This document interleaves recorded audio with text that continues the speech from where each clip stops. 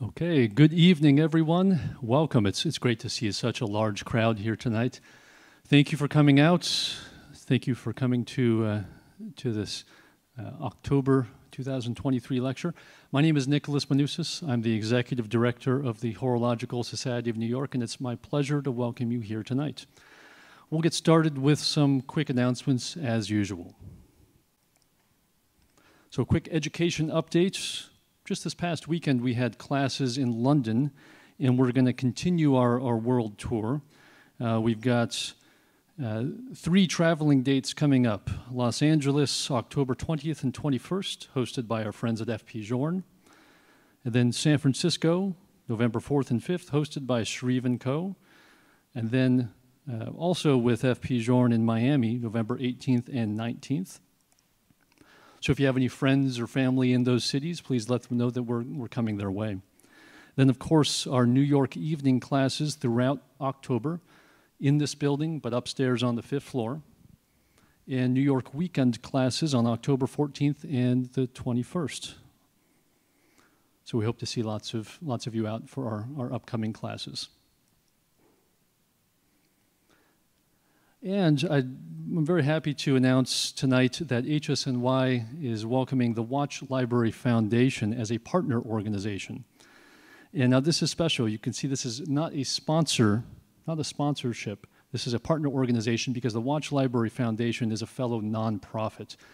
I encourage everyone to check out their website, watchlibrary.org. The mission of the Watch Library Foundation is to digitize the world's horological libraries. And of course, the Horological Society of New York has one of those libraries here on the fifth floor of this building. And you'll see all of our newsletters going back into the 1930s that are already digitized on their platform. It's a fantastic resource for anyone researching anything to do with horology. So I encourage everyone to, uh, to check it out, to take a look at uh, watchlibrary.org.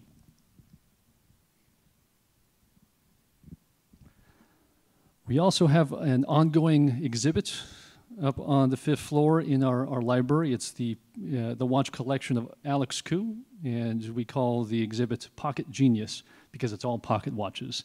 But really, really interesting, unique, special, rare pocket watches. Uh, the exhibit is open while the library is open, so Monday through Friday, 10 a.m. to 5 p.m., and all are, are welcome. We have a very nice catalog that goes along with, with the exhibit that is. Uh, uh, available upstairs as well and available on our website. So um, uh, I, I, just really uh, encourage everyone to come and check out this exhibit. It's just some fascinating watches there to, to take a look at. All right, on to tonight's lecture. Now, before I introduce our speaker for the evening, I'd like to ask the audience to come with me on a trip back in time. We're going to go back in time to the Gilded Age, Gilded Age New York, so the late 1800s. And there's a group of, watchmakers here in New York during that time, and they decide to start an organization, an organization to help each other out, further their professional interests. And the organization quickly grows. They, they organize monthly meetings with lectures, they, uh, they put together a library, a lending library, and they even organize an annual gala dinner. And can anyone tell me, can anyone guess what the name of this organization was? Right? I, see, I hear some people laughing, so maybe you think, you think I'm, uh, I'm making a joke here, but what, what's the name of the organization? It's, it's not HSNY. It's the Uhrmacher Verein New Yorker the Uhrmacher Verein New Yorker. I'm probably not pronouncing it right, right? But the Uhrmacher Verein New Yorker. That was the original name of the Horological Society of New York when we were founded in 1866. And why was that? Why did we have a German name? It's because we were founded by German immigrants to New York who happened to work in the watchmaking trade. So if you were a watchmaker in New York in the 1800s, about a 99% chance you were German. And so our, our organization had a German name, and German was the language that all the business uh, at our organization was conducted in. So fast forward, 1916, we changed the name to the Horological Society of New York to an English name. But it's just interesting to think that HSNY was founded by German horologists who came to New York. Right? And tonight we're very lucky because another German horologist has come to New York. Right? So please join me in welcoming our, our dear friends from Glashütte, Germany, uh, Lange and Söhne, and we're very happy to welcome tonight Mr. Wilhelm Schmid, the CEO of Lange and Söhne. Thank you. Thank you.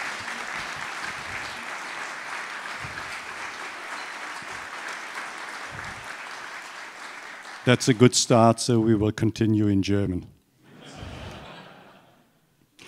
Don't worry, um, I won't. I'm just back from Newport and I've uh, seen um, nicely what the Gilded Age uh, meant in, in the US, all these wonderful houses. And um, I'll be honest with you, I have a real challenge, you know, to explain in probably an hour um, that disrupted an interesting history that our company went through without boring those of you, and I've seen a few familiar places that probably know anything every better than I, uh, without overloading those that only know a little about us is a challenge. But let's, let's, start, let's start the journey. Um, what do we have in common? A lot. You know, you see here Glashütte and New York. I think I don't need to explain who is who, but you see the common denominator. You have houses, we have houses. You have the Hudson, we have the Müglitz. You have parks, we are surrounded by the forests. But I think the most important, I think there is a critical mass of people that really like watches in New York and back home in Glashütte. So, how did it all start? Um, I'll briefly touch on the origins. Um, a, major important thing for us is design, um, which then leads into manufacturing for a reason, because we really always start with a design and not with what we have and see what we can do with it. And um, and then we go to, you know, where are we? Who? What do we stand for? And and how, what are we heading for? So let's go straight into the very early days, um, 1815, 1837. Um, I, even today, I find it fascinating that a, a small guy, uh, Ferdinand Adolf Lange, was about that size, quite fragile. He was not of great health, but he was a determined character. He really wanted to go the extra mile, came from a very poor background. His father was a gunsmith and after all these wars in Europe, the last thing you needed was another gunsmith. So he was lucky because he was so determined and he was so talented. He found Mr. Gutkaes, who sort of adopted him. In those days, education wasn't for free in Germany. Um, and he made it through the rings. And as, as the time was there, after the journeys, um, after all that, um, he had to make a very hard decision because, on the one hand, was the safe takeover of the family business of Gutkaes, who was the, the, the, royal watchmaker. You know, in those days, only the church and the royals had precise timing. Um, or start his own business. And he started his own business. And he started with a purpose. He said from the beginning, we want to build the world's best watches. He learned a lot from the French, he learned a lot from the Swiss, um, but he used that to start work in a city, never say village if you go to Glashütte and speak to the locals. I did that mistake a few times. they won't like you after that. It's a city, another similarity to New York. Um, and it, it, there was nothing because you know they lived from from silver ores, and, and, they were just empty. There was nothing, and it's a valley in the mountains, so agricultural business not great there. Uh, there was no hope. There was no future until he came. He got a loan from the government, which he paid back. Uh, but he started with a watchmaker's school, and then very quickly, with the 15 first students, he started building the world's best watches, and and he really did um, him. And then later on, most important, and that's why uh, I'm sure you all know what A. Lange und Söhne stands for. Do you all know? You know this, I see a few, so because it's German, unfortunately. It means Adolf Lange und and his sons, Söhne, which stands for sons. So he was very lucky because he had two great sons, Emil and Richard, and they were good in different aspects. The one was a shrewd businessman, and the other a great engineer, and they shared the company and really, really brought it to another level. Um, the, the, the nice watch you see on the left, um, so we served, uh, you know, the wealthy people at the time, which were usually the royals. Um, so we did it for um, the Tsar, we did it for uh, the German Emperor Wilhelm, that's my name, it died with him. There are very few Wilhelms today, at least at my age. Um, and, and the watch on the right hand side, I sometimes detour from the presentation, but that's such an interesting uh, history. Uh, it was made for the Paris World Show in 1900. Um, it was uh, bought by um, a very wealthy person who grew up in Bautzen and then lived in Dresden, not far from where I live today. Today it's sort of the, it's an official building from the government, beautiful. And as he passed away, because he had no children, he gave his, his properties to Dresden and his pocket watch collection to Bautzen. And then, you know, in the times of reunification and before, that whole collection got stolen. And nobody did know where it was. Um, this particular watch went on auction in Switzerland, uh, in, in, in Zurich, in about eight, uh, 1986, 87. Um, I think it was 1.8 million Swiss franc paid for it. Um, but it was before reunification. And because the communists never participated on the list of stolen goods, so the watch could be auctioned before unification, but not after unification. So after reunification, it was once more time back, and we alarmed the uh, people from the museum and said the watch is back, um, and now the watch is back in Bautzen.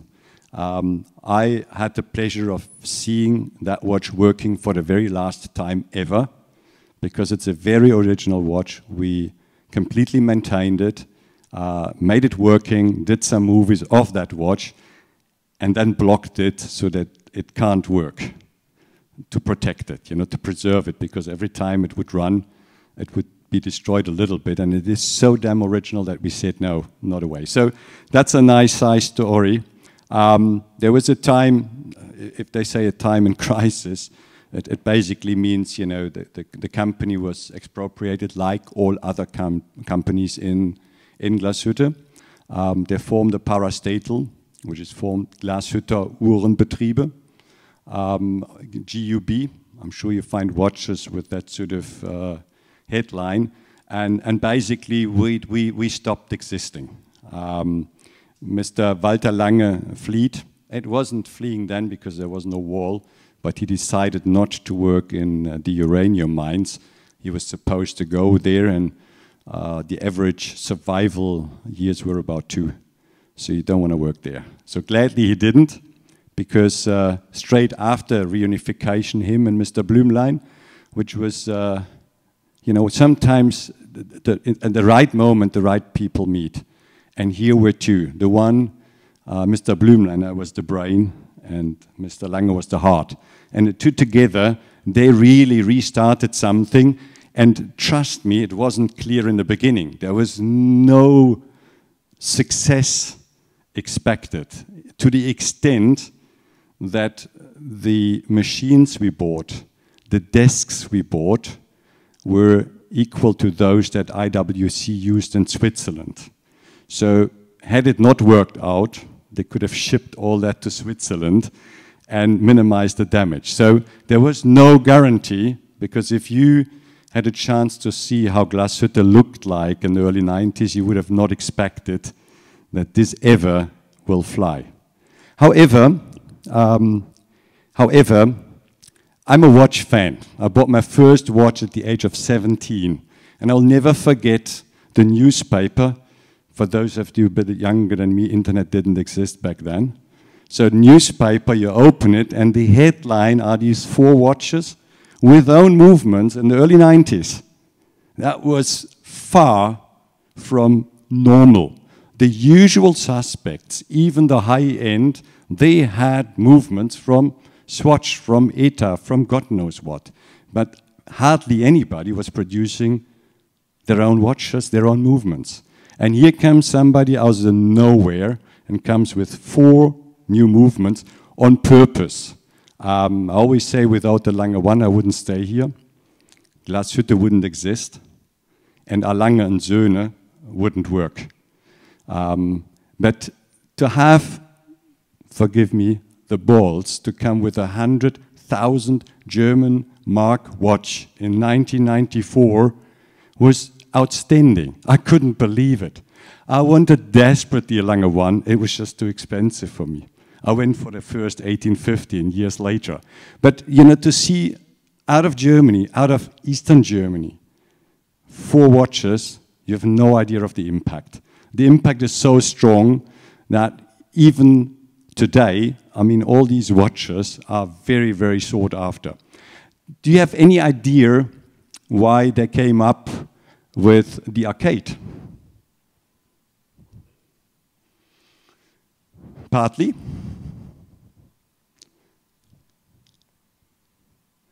you could not buy a square movement in those days. So if you come up with a watch that looks like this, it was 100% clear that was your own development because it wasn't available on the market. And the second thing is, I mean, even today, you look at this watch and you look at the huge date. It looks like a miracle now. How can they get this big date in that small watch? So, ladies partly right, but the real statement was we do our own movements. And of course, the outsized date um, is, is quite uh, a statement, even in a small, on a small watch. There are many watches that I can talk about, and I will. But for sure, those that were into watches in 2009 as we launched the Zeitwerk. Who was into watches back then? Who did like that watch in the beginning? Very few. Trust me. There was uh, there were discussions. They lost it. Jesus, how can you how can you build a watch with a digital display? Um, if you proud yourself to do only mechanical watches, how on earth can you be so stupid?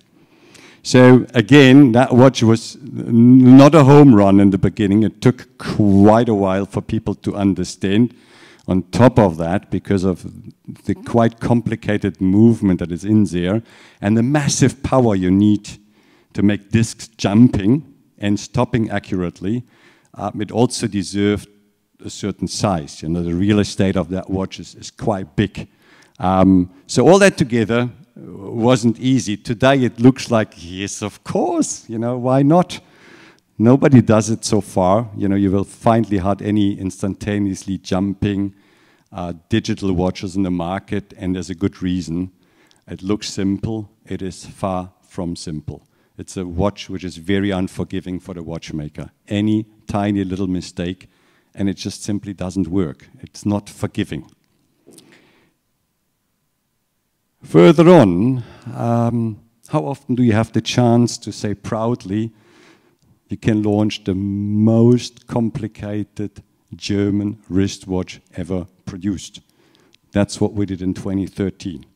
Um, I know it looks like a 42500, which was the most complicated pocket watch uh, that we ever produced, but trust me, these pocket watches, they were more to impress. Unfortunately, the mechanisms in that, they usually didn't work that well. So we had to re-engineer everything, but we wanted to maintain the face. So we came up with the grand complication um, at those days SIHH, um, and it was again, a subtle answer to a question. Because the question was always raised what can we do? You know, where is the limit of what you can develop? And we thought instead of going step by step, we just come with the one ring that rules it all. And you come with something which has from petite grand sonnerie, minute repeater, a very complicated chronograph rattrapante with a, with a, with a very complicated second hand perpetual calendar, uh, fusee and chain. So, you know, it's just a tourbillon that we couldn't fit in. Um, but, you know, sometimes I also believe fusee and chain and a tourbillon is a bit of an overkill. Um, that, that's why we do that from time to time. We came closer to 2019, and again, I think by now you're all on board with watches. Who liked that watch in the beginning? Be honest. Who didn't like it in the beginning? Who still doesn't like it? Get out of here.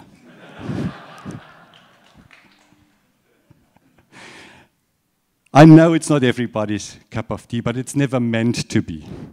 You know, you can't just produce five and a half thousand watches, but come up with mainstream products that have a little bit for everybody. It just doesn't work. This was never meant to be a competitor to, I don't name them. It was always an answer to our collectors that said, we love your watches, but at the most precious time we have, weekends, vacation, playing with the children, going out there, we just don't dare wearing a precious metal watch with a leather strap. And I think it's more the leather strap that bothered them than anything else. So that's the answer. It was never meant because we can't produce that. You know, we will have limited capacity for that watch because it competes with the Lange 1. That's from a watchmaking uh, uh, complication capacity, that's the same bracket. And, you know, we can't deliver the Lange 1, so why would we now move capacity to the Odysseus? That wouldn't make sense.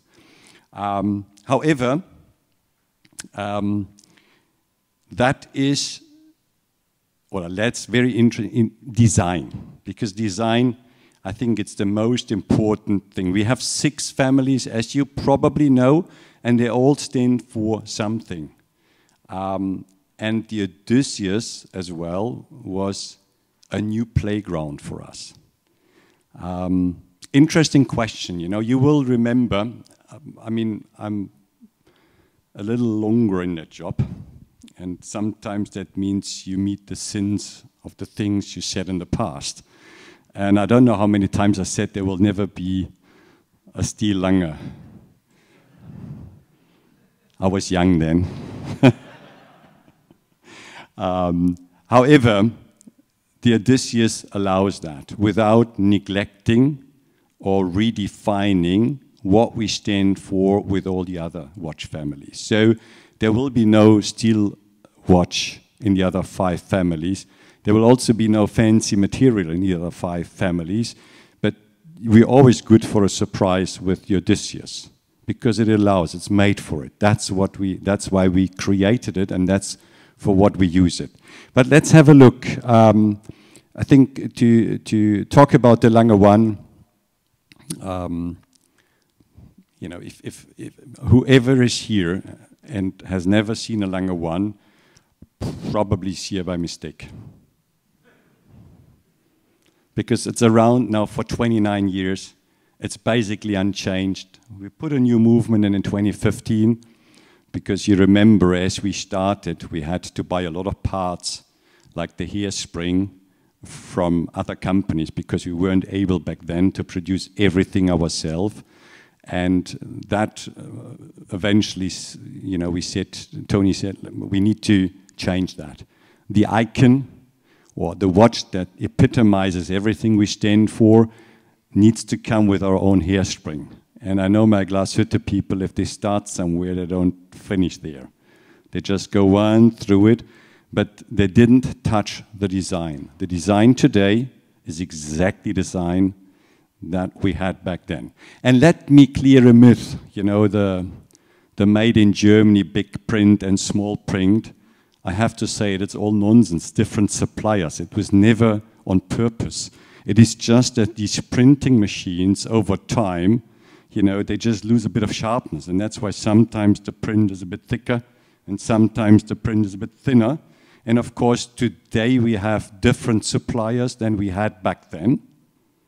So it's not a design element, it is simply different suppliers. That's why it's so difficult today to reproduce a dial that looks exactly like a dial that we did, um, let's say, in 1994, 5, 6, or 7. That's a phenomena which is, you know, the whole industry is facing because dials age um, and also the, uh, the labor protection today doesn't allow all the materials that we may could have used back then. So there are limits to that, not imposed by us, but imposed by regulation. You know what the problem is with a strong design? It can be a cage as well. Because once you have that very, very strong design, how do you develop it without diluting the original design? You know, how do you put complications in it and it still looks on the first glimpse like a Lange 1 or like an Odysseus? So never underestimate, you have to start very early in thinking about what is the next step of your design. So if you look at the Lange 1 family, you can clearly see from, you know, the, the, the original Lange 1 to the most complicated, which probably is the Lange 1 Perpetual Tourbillon, from a little Lange 1, and I think it was a genius idea from Mr. Blümlein to say that the automatic movement is just mirroring the original design. And I don't know how many people do not see on the first glimpse that if you put these watches next to each other, that they're actually just mirroring each other. I think these are tiny little things, but to maintain the integrity of design deserves that you think out of the box. And I think the perpetual calendar, um, whoever is familiar with the design of a typical perpetual calendar, they use a 48 month wheel, which is always in the center. Almost all perpetual calendars work like that, like a mechanical programmation program software, but you can't do that in a decentralized watch. So we had to come up with a with a mechanism that allows decentralized but jumping, instantaneously jumping uh, indications that you need for, for all the different watches. Interesting question, um, and here comes the answer.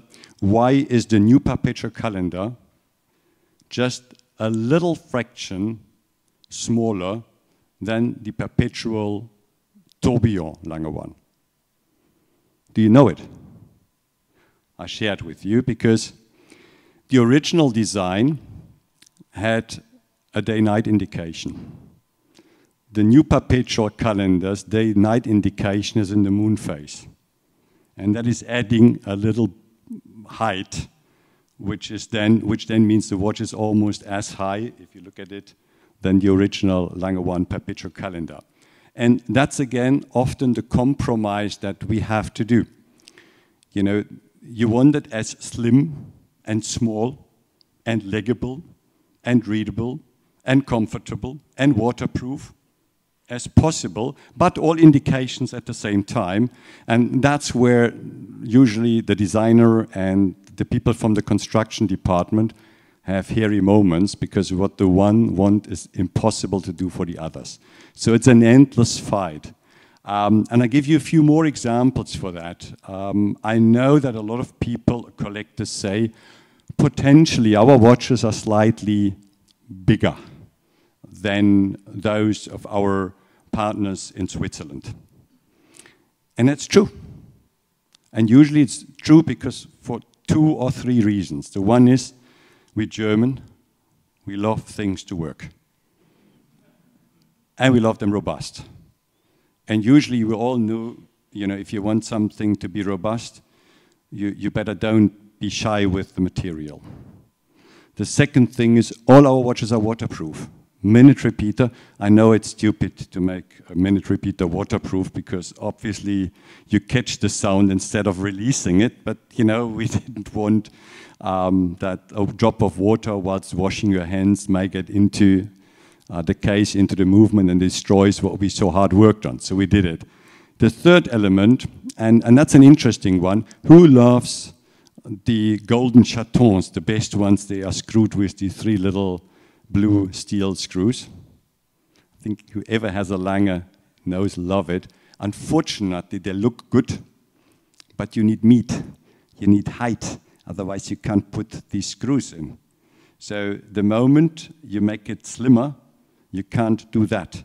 So again, it's a question of compromise. What do you want? Do you want a very slim watch and get rid of all this decoration? Or do you say, I'll take the price, I'll make them slightly higher, but what is more beautiful than these cornflower blue little screws around a golden chaton that are just hiding that little ruby? I think the three colors are such a nice, but again, it comes at a, it comes at a price. Outsize date is a thing that we have in quite a few watches. Trust me, if you come to my age and your eye view, you know, is deteriorating, you come to appreciate it. So the younger ones, your time will come and then you will love it. Uh, the Saxonia is covering a, a, a, a, lot of variety here. And I'll be bluntly honest again. We call it Saxonia if you talk to collectors, they would call it datograph, triple split. Um, they will probably call the first watches Saxonia, um, but for sure the lower end, we put them into that family, but frankly, they have almost a standalone character, specifically the chronographs or the Lange 31. It's quite interesting. The Lange 31 is now about, I think it's 15 years old. We're still the only ones that produce it. Um, and again, those of you that are a bit longer in watchmaking, you can remember the fight for getting the month power reserve. There were quite a few players in the market. They always launched a watch which I've never seen on anybody's wrist. I wonder why. I wonder why. Zeitwerk, again, think about what I said about design strong design, hey, but if you don't want to put complications into it, you better have an idea. Um, here, of course, it's very nice to see um, the acoustics that we play with. You know, be it the, um, the striking time or be it the minute repeater, because it's on the dial. So it's a very attractive thing because you can see the mechanism. Most minute repeater you can't see, unless you turn the watch around. Here it's the music plays really in, in the face. I will not go through all the details that went into that watch because that alone is good for an hour. Um, but it is a spectacular watch if you take all the things it does differently to any other minute repeater into consideration. And again, as we launched it, we did it on purpose because after the grand complication, everybody did expect the next watch they launch is a classical minute repeater. You know, like the Richard Lange minute repeater, which we then launched much later. But we came with something with a decimal repeater, which is totally different. The date, um, again, where do you put a date? Because all the real estate in the front is covered by the discs. Um, there's no getting through, so you have to find a way to put it around it again. Um, don't ask me about the lumen, I should not say it, because we, we just go, we just move on. To what I would call, if we would still produce pocket watches, that's how they would look like. So the 1815 design language is the most traditional, is the most classical design language that we use. And it's meant to be like this. Um, all of these watches, you know, if you just make them a bit bigger, they, could, they would look like pocket watches. Very traditional, all the design elements, no outsized date. You will never see an outsized date on the 1815 because that would actually break with the design code of that specific um, family.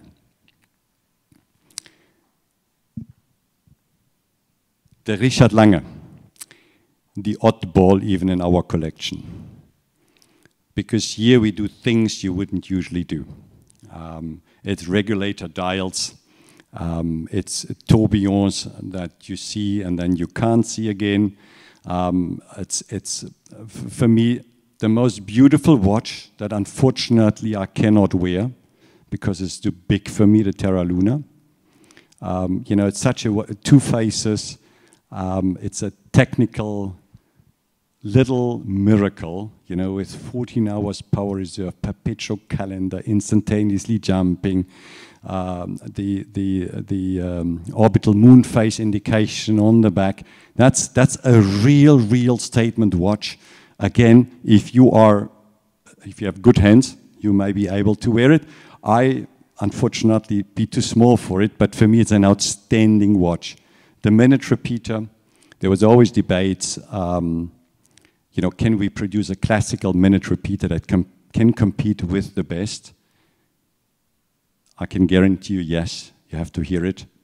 And never forget, it's waterproof to 3 ATM.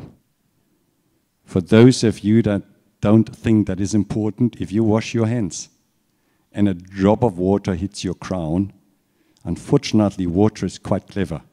It'll make it into your movement, and I don't need to tell you what happens to steel parts if they're exposed to water. So we don't want that. But we are pretty alone with that idea in the market. However, I know that this watch can compete with those that do minute repeater for a long, long time. And the one thing we always openly admit, minute repeater were not a speciality of Glashütte. Not back in the old days. And it took us a long time to understand how minute repeater work. Um, and we didn't have the privilege to go up under the roof into our archives and see what we had there because there is no roof and there was no archive. So we had to really start from scratch. Right, Odysseus again uh, creating a face, a recognizable face, um, a watch that you would spot from distance. Those that know about the discussion, is that an integrated bracelet or not? I can assure you it is. Um, there was a golden rule by Mr. Blümlein that said, you know, if you look under the sleeve, you need to identify an Lange and Söhne from the distance. And that's why even an Arkade or a cabaret, you know, the, the rectangular watches that we once produced, if you look from the side, they have exactly the same looks, they have exactly the same crown, they appear like a Lange has to appear. And we didn't want to throw that just to make people believe, oh yes, an integrated bracelet. You know, that's why it is integrated, but it doesn't look like because we wanted to maintain the typical A. Lange und Söhne look. Um, again, if you want to create that strong, recognizable design, unique, not another Gerald Genta watch, stick to what you stand for. You know, do your own movement. Um, and that movement we can only use in that watch, believe it or not. There is no other watch that we could use that movement for. And we can't use any movement of the other watches for that watch. Um, so again, that limits our output, that limits what we can produce. And of course, it imposes challenges on the construction team because how can you work with that and create a family? And, and yes, I admit the movement of the first three watches is pretty much the same. It's stainless steel, it's rubber or leather strap, you can change that quickly, and titanium. But the Odysseus chronograph, which we only launched in April, looks immediately like an Odysseus, but it's a chronograph. Quite a complicated on top of that. So that's a good, another good example of if you stick to a design, you need to understand the implications and you need to understand it will come with challenges when you start creating a family out of an original and very strong design. We always do something to make the life of our watchmaker really miserable. Really miserable. So first, always have a little test. Who knows what Handwerkskunst stands for? Not you, because you speak German. Fantastic, that's exactly. And we do in these watches everything which we cannot do to the same extent in normal production because it would be ridiculous. You know, even the movements, the shape of the movements are designed to make the life of the people that need to decorate it very, very tough. Um, we, use that, we use that to push boundaries within the factory. You know, it's like, it's like a sports or a sportsman that you push into a new area. That's, that's, you know, it's very important for us, not for collectors. That's not a business case because far too much work goes into each and any of these watches. But, but our people see that there is no limit. They test what they can do. And the Handwerkskunst always takes new stuff. Um, I'll never forget we had the brilliant idea on this one to build in what we call a Glashütte escapement. So the whole escapement is made out of gold. And there's a very good idea why they stopped doing that, which we didn't know.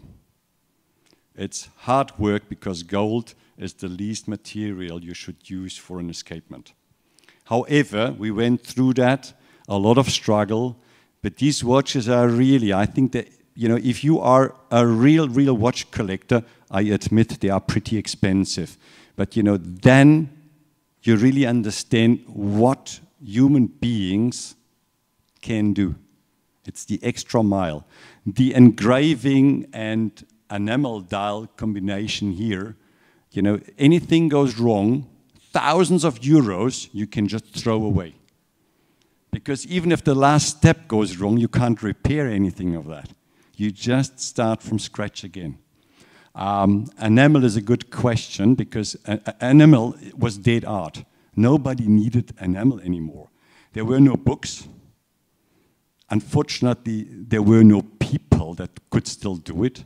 So we had to start from scratch to understand how you produce enamel. It took us three years to find a glass producer that produce a glass as clean so that we could use this, use this to make enamel dials.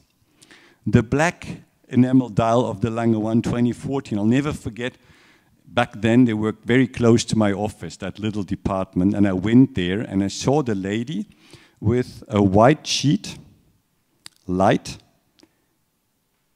and all that black stuff, and she was taking out anything not black. It was hairy, you know, to see it, and then, you know, to build it, to produce it.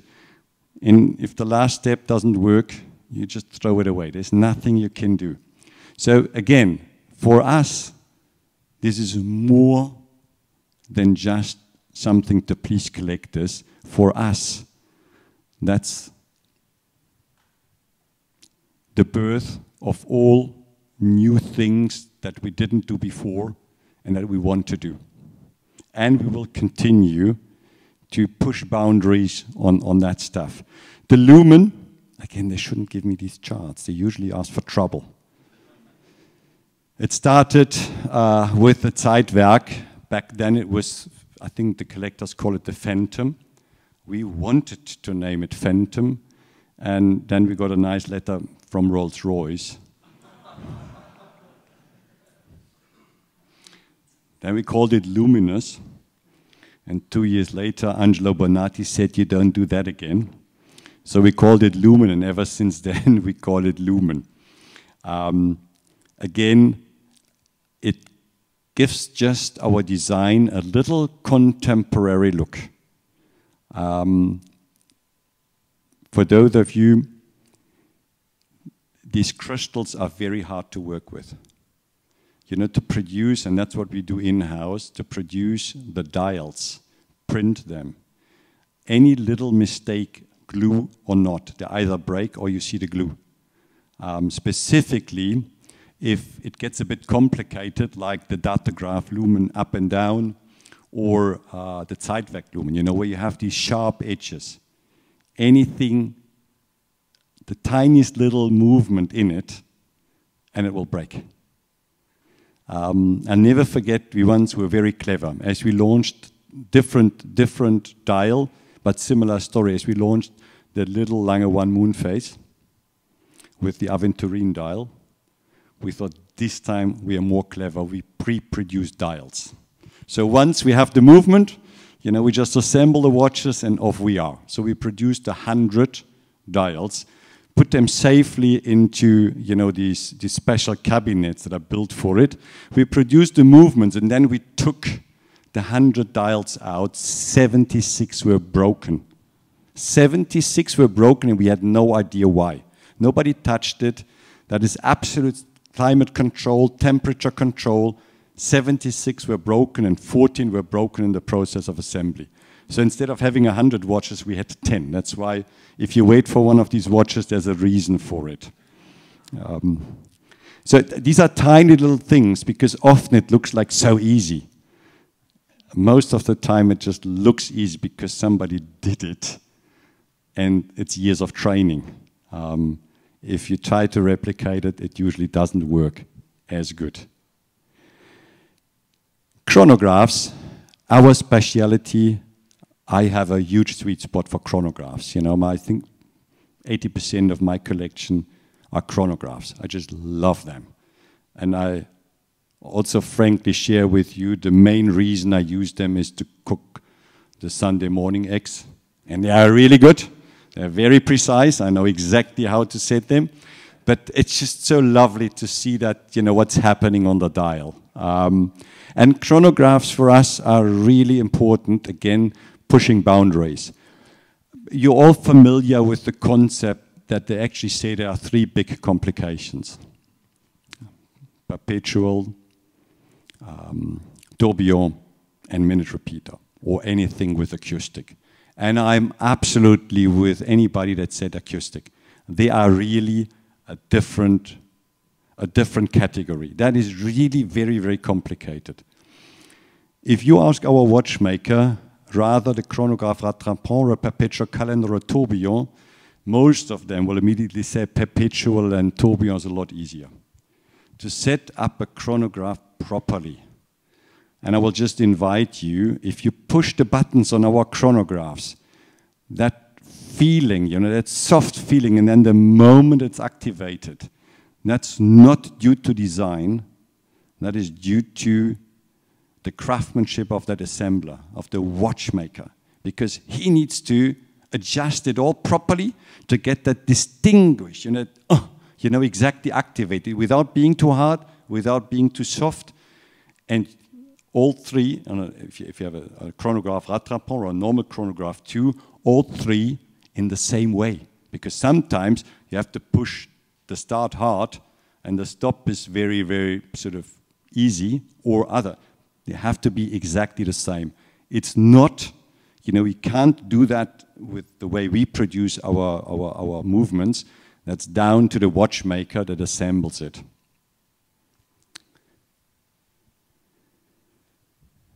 Yeah, and this is the work of uh, a lot of great people over the years of time. That's all the movements, the different movements that we launched since 1994. Um, this year at uh, Watches and Wonders, we had a display of all the 71 different movements, and it was the most expensive single box on the whole booth because the money behind that is immense. Um, but again, even in current collection, I think we have 33 or 36 different movements. Um, so whenever you wait for a watch, there's a reason. It's just because we cannot mass produce. And there's always a movement for each and every watch. Um, and a watchmaker can work on two, three movements efficiency, usually on one if you really want it efficient. Even if a good watchmaker moves from one movement to another, he or she will take time before she goes back to become really good and quick on it. Um, it's, there, are, there are movements designed to be assembled by somebody that has any sort of training, and there are movements that are designed to be assembled by a watchmaker. And the second is definitely the case for us. I'm not saying good or bad. That's the difference between a four cylinder Golf and a 12 cylinder Ferrari. They're both engines, but they're very different. And I'm not saying it's good or bad. It's just saying it's different, and that's why we can produce five and a half thousand watches. But unfortunately, and trust me, I'm a businessman. I would rather produce 10,000 because we could sell them, but we can't produce them. So that's unfortunate, but it's you know due to the complexity that I just shared with you. Uh, traditional elements, they all have, and again, I always give that to Mr. Blümlein and Mr. Lange because they really are the father of all these things. They are in our rule book, um, and nobody will break it. You know, all our watches have a hand engraved balance cock, like our pocket watches had. Wherever doable, we use these. Uh, I talked about it. These beautiful little golden chatons. Sometimes with two screws, sometimes with three screws, and it just you know the color combination is just unbelievable. Um, we use only German silver for the ground plates. That's a beautiful material because over time it will develop that mellow golden patina. The problem is because we use it untreated, the moment you breathe on it or you touch it, it will develop a very ugly patina because on those, that's when, and I can only warn anybody, don't give it to people not authorized to work on it. Alkes is, you know, a good man. He knows, he knows what to do because if you give it to somebody that is not used to work on that material, trust me, the damage that he or she will cause is a lot higher than what you think you need to pay when you send the watch through Alkes or to us. Um, not everybody can work with it. And if you come to our manufacturer, you will see that nobody nobody in any watch department is working not with protected fingers. There's no way. That's why we have an own school. I'll come to that later. Um, typical example of um, how, to, how to make life really difficult, just imagine, you know, that's always a 45 degree angle. Um, now, if you put a bit too much there, you can throw it away. There's no way to repair it. Um, if you, you know, these little corners, they are an absolute nightmare. I'll never forget as I started a long time back, because I came from the car industry, um, I went all, every day in with the early shift, and then I went along the factory as a watch would do. And I tried to do what my people were doing. And I can assure you, none of the parts that I ever worked on made it into any watch. So if there's a mistake, it wasn't me. But it's horrendous. You know, I, one little story, these golden chatons, they have to be polished to absolutely match the surface. So there is, there is a reason that they do it. Now, polishing these tiny little things is really complicated. So I went there and she said, polish. And I polished. And after two minutes, I said, I have no idea what you always tell me. Look at it, looks brilliant. So she looked at it and she said, nine. I said, What do you mean by nine? I said, There are nine scratches on that tiny little thing. And then the first thing, she taught me how to work with the light reflection to see whether it's really mirror or not. After three quarters of an hour, and for sure I was out of any tolerance. There wasn't a lot left, to be honest. I got back, and she said it's almost perfect. I was so proud. There's a little shadow here. If you get that away, you're done. So I thought the shadow is gone. I gave it to her. She looked at me and said, two. That's where the moment said, I have to go back to office.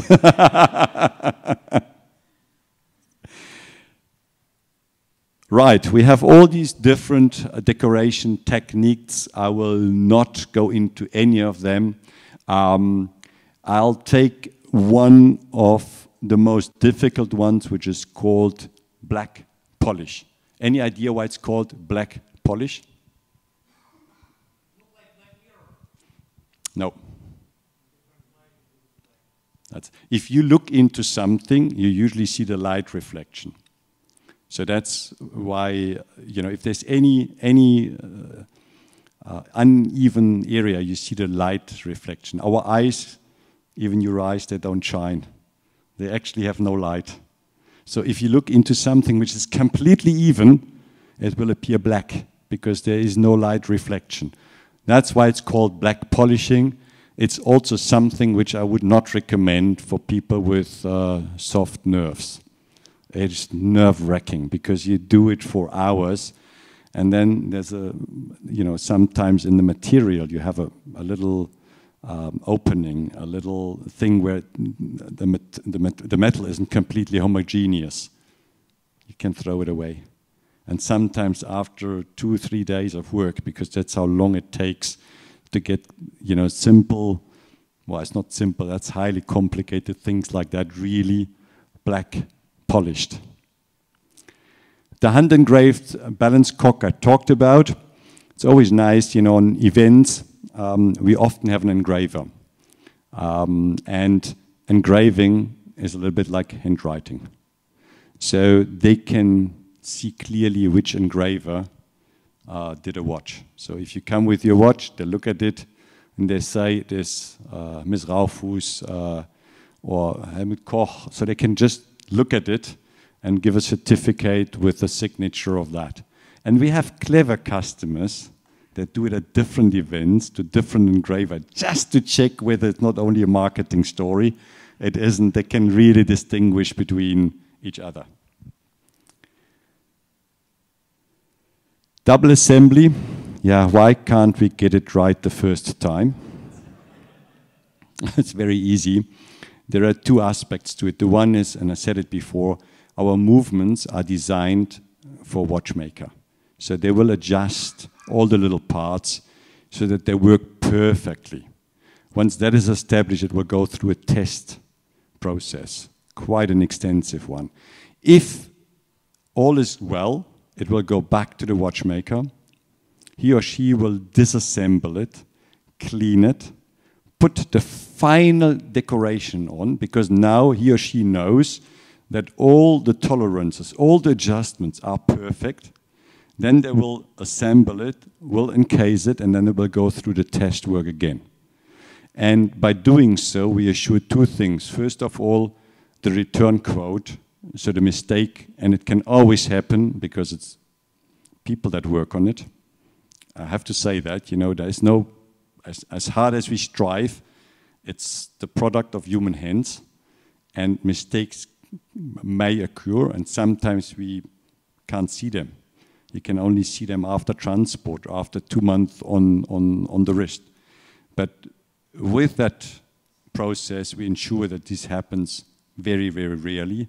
And to get the aesthetics perfect. Yeah. Remember the German silver, very difficult to work with. With that, we can assure that the aesthetics of the movement parts is on par with the engineering uh, quality of the watch.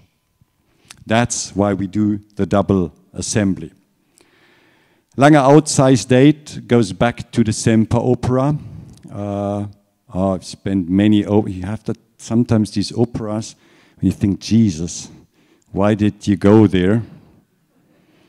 And then you see to your wife and you know why you were there that watch, you know, you look at it and it only gives every five minutes. You have no idea how long five minutes can be if the opera is not great. I'm not sure whether they had the same inspiration, but they took this outsized date uh, because it was quite unusual back then in 94 and, and up to today, you know, on, on, on many of our really known watches, you will see the outsized date. Fusee and chain, again, first watch, first wristwatch with Fusee and chain in 1994. I think it does rather well on auctions in today's world. Um, Fusee and chain, you're familiar with the system? Yes? Exactly. You know, the biggest challenges, you all know when we were boys, we had these cars that you pulled back, they were spring loaded, you release them. They're very quick in the beginning, very slow at the end. A watch has exactly the same problem. There's a spring, which is, of course, has a different torque in the beginning than at the end. So that's why most springs only work within a certain parameter where you know the tolerances are in line with the accuracy that you want to produce with a watch. Constant force mechanisms, and there are different ones. Um, this is a very traditional one. Try to give always the same amount of power into the movement. So it's prob I think it's more accurate than what a tourbillon can do because you know the gravity may be strong, but it's not creating the same sort of mistake that can be created by different uh, um, amount of torques that go into the movement. And this is like fusee and chain. So the moment um, the spring torque reduces, the lever on the other side get bigger. So, and vice versa. So by that, you assure that always the same amount of, of torque goes into the movement. Again, a tiny little thing uh, on the small subdials on the chronographs. Most of the chronographs, they have sort of a slowly walking minute hand. Um, on the small dials, that can quickly become a problem because you don't see is it two minutes or three minutes or 16 or 17. Um, that's why the datograph traditionally has a jumping minute counter. Then it's pretty clear whether it's one, two, three, four, and so on and so forth. So you can see the seconds, but you can see clearly the minutes. We talked about that. You know, we produce our own balance spring. Um, it, it's very important. It's the heart of the watch. You know, that will determine, together with the pairing of the, uh, the balance wheel, how accurate the watch potentially will be. If you get that wrong, Alkis, is it five micrometer and then it's wrong by half an hour or something like this? You know, it is just incredible. You don't get that right, you can forget all the rest. Um, that's why very few companies produce their own hairspring. I would say even today, I would say 80% get it from ITA, um, probably even more. You know, but but you know, we decided very early on that's something because the heart of the watch we want to do ourselves. Um, that's why we invested. And after 12 years of investment, you know, slowly but surely, we, we, we use them for our own watches. We discussed that. That's a good, a good example of, you know, if you, if you want to launch a Lange One with a perpetual calendar, you can't have, you don't have a center. So you have to find a different way of creating 48 different months. And in this case, it's the peripheral month ring around it, which jumps by 30 degrees instantaneously um, at around midnight. Um, again, to maintain the design, you have to be very clever with your mechanisms. And you can nicely see here the moon phase. Uh, you may wonder why there are stars and why there are no stars. It's very easy. If you look now to the sky, you will see stars. If you do that throughout the day, there are no stars. So we use this as a day-night indication, which is important because you want to set a perpetual calendar in a way that everything jumps at midnight and not during lunch break. Constant force equipment, we set one with the uh, and chain. Um, another one which you can see here, um, it's, it's, it's uh, the um, one of the Zeitwerk. And again, what we always do is we learn. The first idea of that constant force came actually from the Lange 31. Um, you can understand the hairspring to generate 31 days of power reserve has to be rather strong. There's a limit to what you can do with the power without destroying the rest of the movement. So you had to become clever. So you have a main barrel and a small one. So the main barrel always loads the small one, which then gives the energy, which is now divided by a lot, into the movement. Um, we use it for the jumping second, the Richard Lange. Um, we use it for the Zeitwerk, always for the same reason, control power. You need a lot of power, but you have to give it in a controlled way. And these constant force escapements, they are perfectly, they're perfect for that. Right. That's a hot topic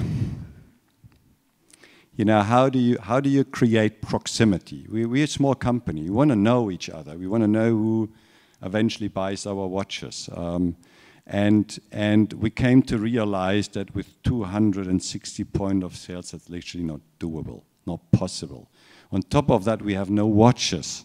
So how do you find that fine balance uh, between having a good representation of what you stand for, but still still, you know, be close to your customer. You're all safe. We have a boutique in New York, but you know the next one is then Boston. So don't don't move. We're in between. It's a long journey. Um, it is, you know, and I always say it's it's a balanced decision. We would rather have more, but we can't do it because we don't have watches. Um, so this setup is a good footprint um, where we can ensure, on the one hand, that we're not too far away from our customers, and on the other hand, that we have not too many point of sales, and therefore each and every point of sale that you see here has a good representation of our um, brand. This is the new flagship store uh, very close by um, at Madison Avenue. I'm sure you all have been there, uh, or you go there, probably, hopefully. Um, we have a soft, a sweet spot for vintage cars events, to be precise, for Concours d'Elegance, for a very easy reason. Uh, I'm just back from our first American um, Concours d'Elegance down in Newport, uh, the Audrain uh, Concours of Elegance. And if you look at these cars, they have three things. They're all hand built. They all have a great story. And they all have a design which even today you look at it and you wonder why they don't produce cars like that anymore. And if that sounds familiar, that's very much what we want to create with our watches as well. That's why it's not car racing, it's not you know vintage racing, it's concours of elegance, which we said that's the only playground where we entertain customer, but where we also come to realize we will see a lot of new friends um, because mechanical art and collectors um, is a good uh, ground for us to recruit new clients um, and also customers that we have like it a lot to be with us there. Give you an idea about uh, the heart of the craftsmanship. We are back to, it's not New York, it's Glashütte. I know you get confused, but that's Glashütte. Um, and uh, just a fraction of the people that work there, actually we are 600 uh, that only work in a factory to produce these, these wonderful watches and to ensure that there's a future for fine watchmaking in Glashütte, we decided 26 years back to have our own watchmaker school. So we train our own people. It's a government program, so they work for us, they work with us, but all the exams are taken by, um, by the authorities to ensure that you know, with a watchmaker degree from A. Lange und Söhne, you can go elsewhere as well. At 70 minutes, I'm not there yet. I am, I am. I could have done it a lot quicker, and I show you how I could have done it a lot quicker.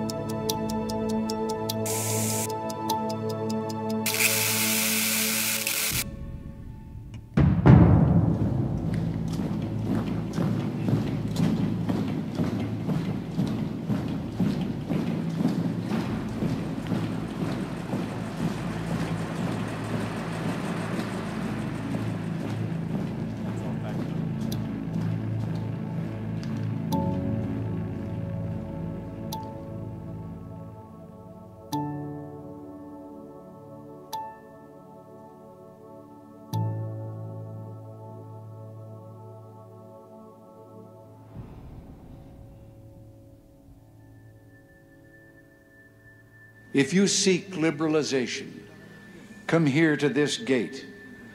Mr. Gorbachev, open this gate.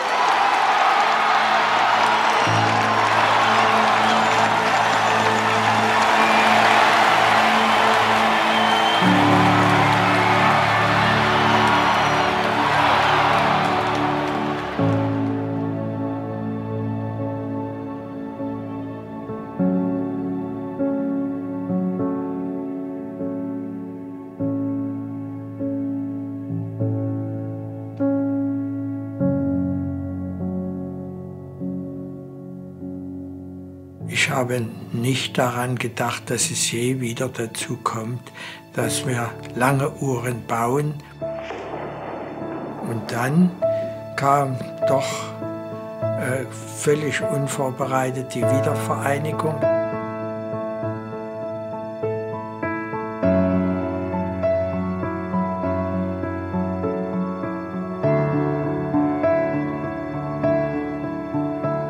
Ich bin wohl mit den Worten angetreten, wir wollen wieder die besten Uhren der Welt bauen.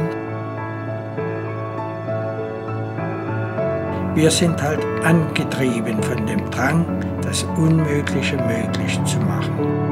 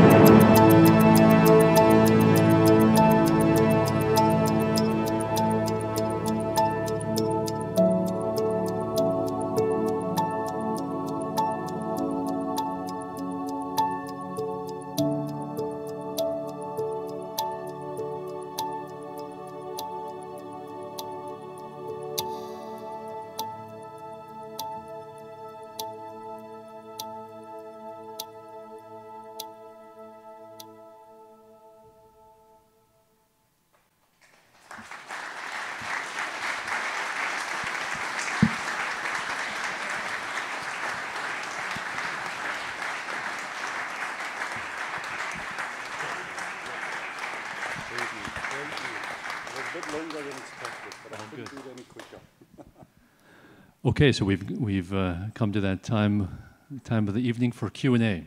If you have any questions, please w- raise your hand. I'll bring the microphone to you. All right, we'll start over here.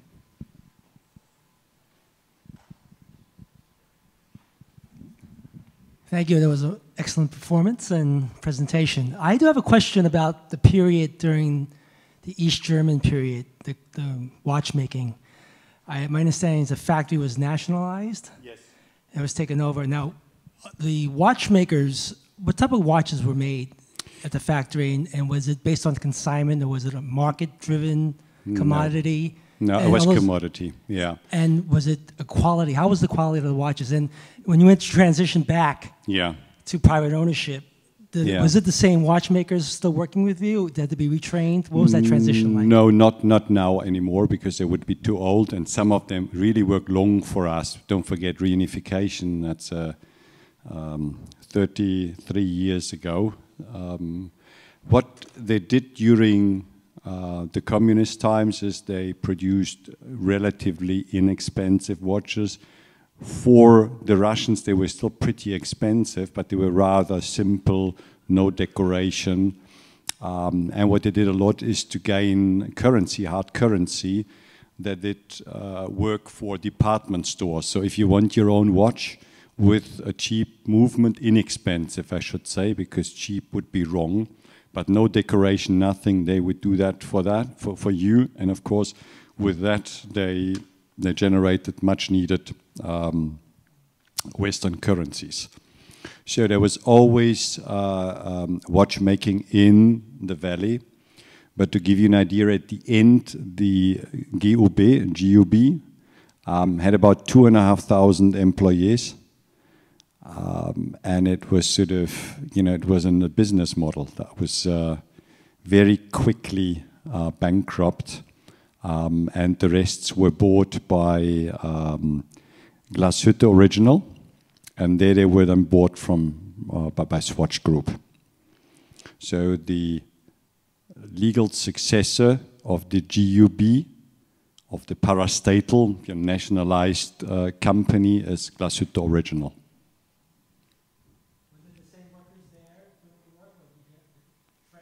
No, we had to train. Yeah, we had a lot of them. Um, the good ones, yes.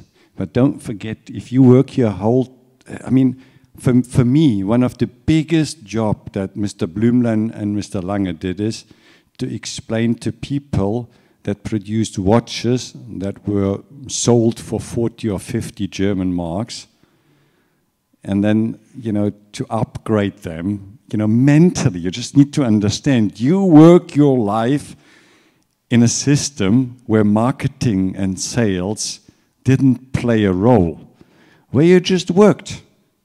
You know, whether you produced anything that is needed or not, who cares? And now, very suddenly, and, and I think Mr. Lange said it very nicely, we were all not prepared for that.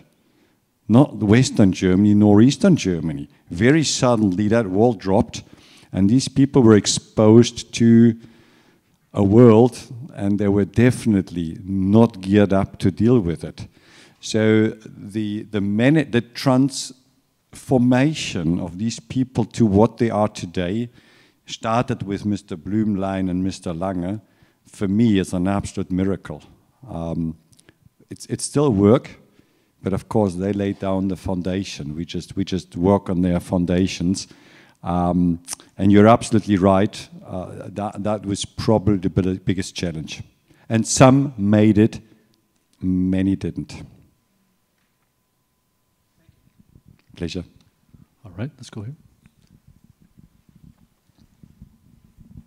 Thank you for that tremendous presentation. Um, the, the few times I've had the pleasure of actually holding one of your watches in my hand, I'm always astonished by the quality and the craftsmanship. Um, that being said, can you promise us all here tonight that we will never see a $400 plastic Lange on a, on a Velcro strap? Yes.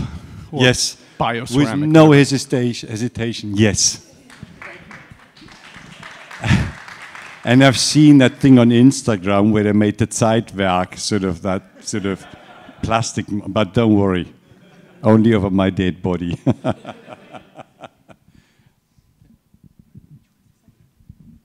uh, what is uh, being part of a huge conglomerate, Richemont, meant in terms of your ability to run the business the way you want to?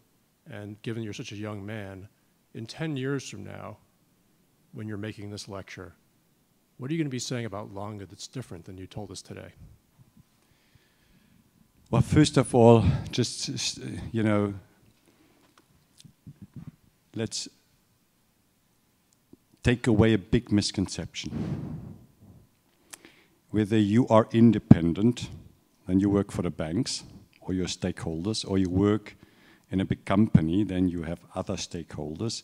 But to believe that you can run your business as you wish is maybe not a healthy business proposition. You will always, you will always have to follow certain stakeholders and beat your customers.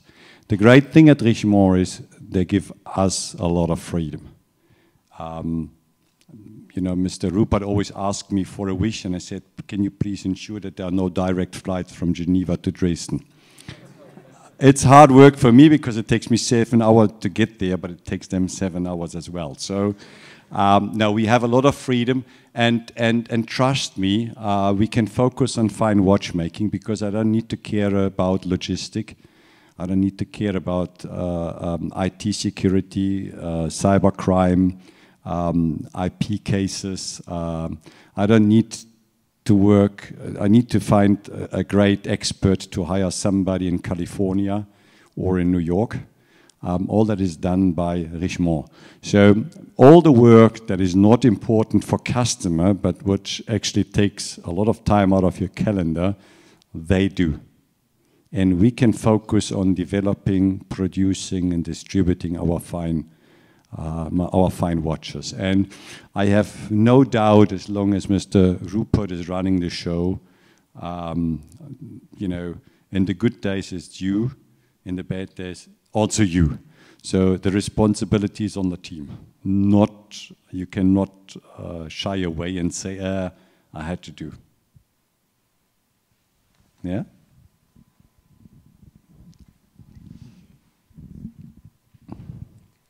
Erstmal vielen Dank und uh, herzlich willkommen in New York. Oh, noch ein Deutscher. but my question is for you again as a, as a business a business executive. I think the you know how do you deal with the fact that you sometimes have to make decisions for example with the odysseus right where you know that probably for years people will not appreciate it people will not see it and you might even dilute the value of the brand how do you excuse me how do you deal with that how do you how does the morale with the team deal with that Look, it's, it's I mean, let's be clear. First of all, you can't make a decision and believe that you make everybody happy. I mean, that's, that just doesn't work. Um, and secondly, decisions that may look stu stupid on the first glimpse, on a second glimpse look intelligent, and on a third again stupid. So forget about, you know, you make the ultimate decision and then you stick to it. Um, life is about finding compromises, finding about check and balances, finding about, you know, what works for you. And in the worst case, it's uh, short-term gain and long-term pain. I think these are the things that I believe you should really avoid. Um, so far, I always enforce mistakes, and I really mean that. I think any living organization has to create mistakes. Um, my famous philosopher Stirling Moss once said, um, if you've never been thrown out of a corner, you were never really fast. Uh, I think in business it's exactly the same. If you try to go the safe way, you'll end up nowhere anyhow. Um, so that's my take on decisions. Um, important is that you hear everything, you have a great team, you make sure that you listen to a great team, um, and then you do the best you can do in the heat of the moment. There are two consultants that we all wish we had and we never have. The one is distance and the other is hindsight. If you want to understand what I'm saying, watch a soccer game. Mm, there are 40,000 people that know exactly what they did wrong in that moment Unfortunately, you know, you are there on the playing ground. You have to decide in milliseconds what to do. You don't have the distance, you don't have the overview, and of course, you don't have hindsight. So, you know, that's that's my take on it. Thank you.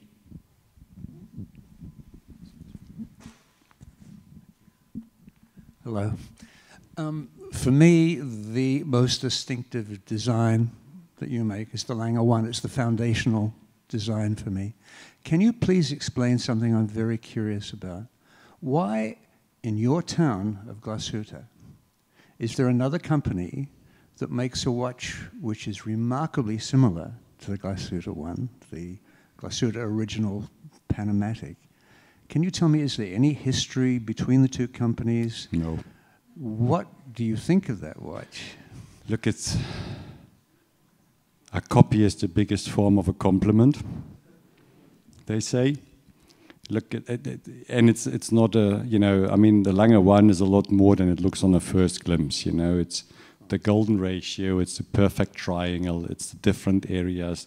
It's, that's why we redid the, Lang, the Grand Lange one because in the first place we were a bit lazy. We took the same movement and put it into a bigger case, and you know we diluted the idea of it, and that's why we reinvented it later on and made it perfect. Um, you can't prevent somebody from copying you. Um, there's a there's a limit to IP uh, regulations, and maybe at the time also Richemont decided to not go head on with Swatch Group. I don't know. It was before my time, um, but there is a reason, you know, that there's one original, which is the Lange one, and that's it.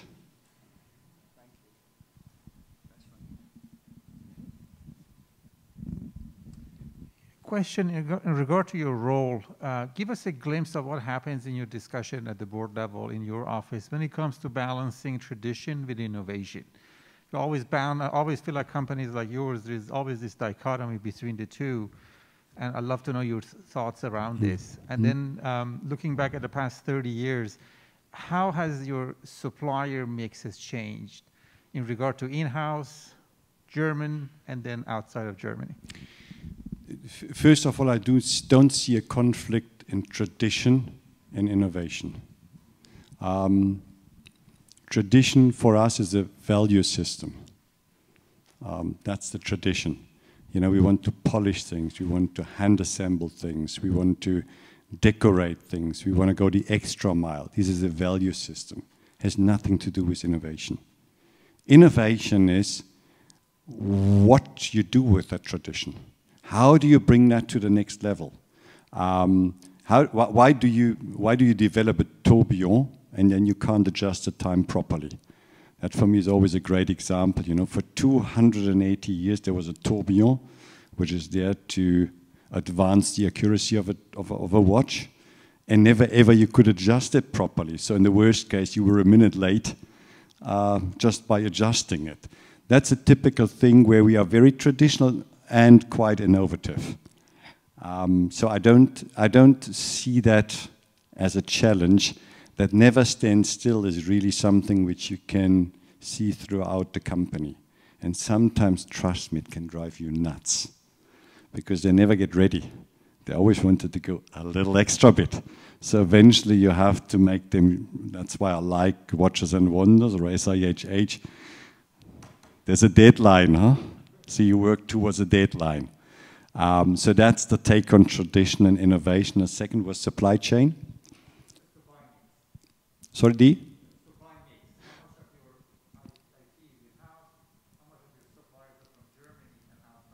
It's very easy. You know, the movement is done in Glashütte. Um, the case is done either in Glashütte or in Switzerland. Um, the dials, some, the very complicated one, are done in-house enamel, uh, Tourbograph, and so on and so forth. The rest we source. Um, alligators, we tried in the Müglitz, actually took cold in winter, so we get it from Louisiana. Um, and, and, and that's it basically. And it hasn't changed. Funny enough, we still work with the first supplier for our cases. Um, and, and, you know, they, uh, there's a reason for it. Let me share the reason. Why do we do that? Why don't we do that in-house? We could, not a problem. But the machines that you need to produce cases at our quality, they are very expensive. And the people that work on these machines are highly specialized. If you only produce five and a half thousand watches, you also don't need more cases. So you would build a machine park and you would recruit very, very good experts. And after six weeks, they wouldn't know what to do for the rest of the year. So that's why we decided to, we can do everything in-house. We did cases in-house, grand complication, for example. But you know that is what we leave to others. Our focus is on what we think is the most important, uh, and that's the movement. All right, let's, uh, we'll have two more questions this evening, and we'll go to the back of the room. We've been in the front here, so let's go here. Uh, hello. Hi. Uh, you mentioned about the waterproofness, and it. I, I'm just curious about uh, magnetism because we are very surrounded these days with all MagSafe and everything. Yeah, it's a huge, it's a huge problem. You're absolutely right. Um, it's again, you know, if you want to uh, ensure that no magnetism will hit your watch, there are only two ways. Uh, the one is use materials that don't magnetize. Unfortunately, then you know we are with the silicium part. We don't think that is craftsmanship. We just believe that is uh, mass production um, and takes away the beauty of fine watchmaking. That's our statement, and I really stick to it. It would make our life so much easier. You have no idea. You know, with these uh, silicium hairsprings, the first is like the millions. Very expensive if you produce one, very inexpensive if you produce a lot. But you know, there is no fight with regulating it because there's no, and, and, and we don't know what is happening to that in 20 years from now on because none of these watches is older than 20 years. The other is to put it into um, a soft iron case, but then you wouldn't see the movement anymore. So for the time being, at least we think it is rather under control to, to demagnify, uh, to, to demagnetize a watch is also not a miracle. Alkis, how long does it take? Half a minute? Half a minute from the expert. So it, and, and I agree, you know, you put it next to your iPad or next to your iPhone. I totally agree, but as I said, you know, that's, there's a limit to what you can do without taking the beauty of fine watchmaking away. Okay, we'll have the last question here in the back of the room.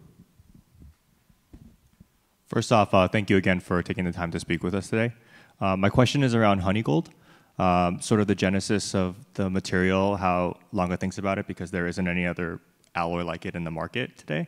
Um, and it seems like for the most part, you're using it in limited edition, sort of special pieces. Um, is that sort of the strategy moving forward? Do you have other applications for it? And then finally, what is its relationship maybe to yellow gold in the way that you're using less yellow gold uh, as opposed to say pink gold and white and the yeah. other materials? Yeah, so honey gold is a is a patent that we own. That's why nobody else can use it. Um, it's a very nice color because it you know it does change daylight to to artificial light, and it is from a soft white gold to a light pinkish gold. It's a very hard material, it's a lot harder than normal gold, and we only use it for limited editions for a reason. Um, to work with that material is very demanding. Um, and if a watch made out of honey gold comes into after sales and the face and, and the, the, the, case needs to be refurbished, you know how we normally do it. Uh, normally, what we do is um, we laser all the dents and scratches uh, we apply the same material that uh, we use for the case and then we polish away what we put on too much. Unfortunately, with honey gold, because of the uh, composition, you must do that in a complete oxygen-free area. Um, and that is a lot harder to generate, a lot more work that goes into it, and there's a limit to our capacity. So that's why we'll only use that for limited editions and that will remain our strategy. We always have yellow gold in our, in our assortment, always had. We never stopped it. But of course, you do not produce what is not requested to the same. So we always have a Lange 1. We usually have a Saxonia. We usually have an 1815 in yellow gold. Um, but the days where we had basically a yellow gold version in every product family, you know, there was just not a demand for it. And if you don't have enough capacity, it is very stupid to produce watches that nobody wants. So that's why we are, you know, careful with yellow gold.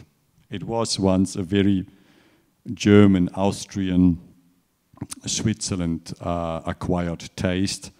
Uh, it was never great in other countries. Only recently um, you see a little stronger demand on it.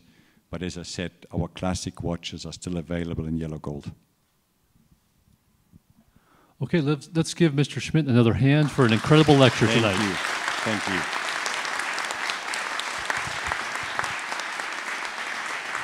Thank you. Thank you.